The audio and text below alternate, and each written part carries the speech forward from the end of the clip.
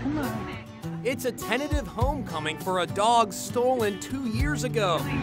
Right. The dog, named Chaos, takes a moment before he recognizes his master. then major tail wagging and kisses. Oh These two really missed each other. He's so excited now. Oh Oh!